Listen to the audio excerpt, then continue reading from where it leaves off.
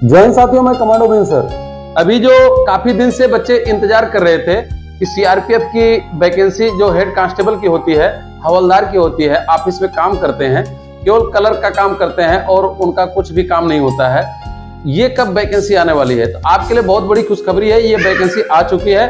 अभी आप पूरे वीडियो हमारे लास्ट तक बने रहिए, हम आपको बता रहे हैं कि कितनी वैकेंसी आई है, कब इसका फॉर्म भरा जाएगा, सब कुछ आपको हम डिटेल बताएँगे, इसकी लंबाई कितना चाहिए इसमें उम्र कितना होना चाहिए, इसमें क्या क्या प्रोसेस है भर्ती होने का, पूरा हम टोटल एक तरफ़ से आपको बता रहे हैं। आप इस जो है वीडियो में शुरू से लास्ट तक बने रहिए, बीच में इस वीडियो को आप जो है स्काइप ना करें। तो वैकेंसी आ रही है जो, ये है सीआरपीएफ हेड कांस्टेबल मिनिस्ट्रियल जो ऑफ़िस में केवल लिखा पढ़ी का काम करते हैं, कलर का काम करते हैं, उसकी ये वैकेंसी है। टोटल पोस्ट 875 पद है। टोटल पद है 875 पद 400 पद सामान्य के लिए। यानी कि जनरल कैटेगरी के जो लोग हैं, उनके लिए सामान्य पद जो है 400 है। ओबीसी का 190 और एससी कैंडिडेट जो है, उनका 100 है। 50 एसटी के लिए। 65 एसटी बैकलॉग उसके बाद ईडब्ल्यूएस सत्तर टोटल 875 पद। और उसके बाद अगर एज की बात हम करते हैं कौन कौन ये फॉर्म भर सकता है? तो जिनकी उम्र 18 साल से 25 साल तक है। जो जनरल कैंडिडेट हैं, जो जनरल कैंडिडेट हैं 18 से 25 साल जिसकी उम्र है, वो फॉर्म भर सकता है। अगर वो ओबीसी है, तीन साल की उसको छूट मिलेगी तो 18 से 28 साल तक वो फॉर्म भर सकते हैं। और अगर एस सी की बात करें तो 18 से 30 साल तक उनको पाँच साल का छूट मिलता है वो 30 साल तक उनकी उम्र है तो वो भर सकते हैं। अगर योग्यता की हम बात करें क्वालिफिकेशन क्या होना चाहिए तो 10 प्लस टू क्वालिफिकेशन इसके लिए होना चाहिए। अगर हम लंबाई की बात करें, सबसे प्लस पॉइंट यही है कि इसमें कम लंबाई वाले भी ये फार्म भर सकते हैं। तो अगर वो मेल है, चाहे जनरल हो, ओबीसी हो या एससी हो तो वो एक सौ पैंसठ सेंटीमीटर हाइट जिसकी है, वो जो है फार्म भर सकता है।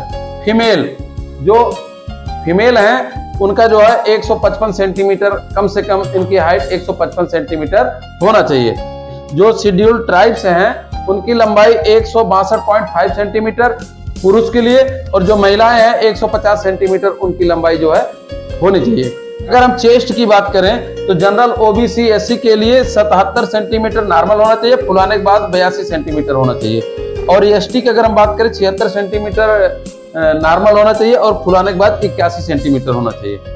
अब हम सिलेक्शन प्रोसेस क्या है? सिलेक्शन प्रोसेस इसका है कि सबसे पहले रिटर्न एग्ज़ाम होगा।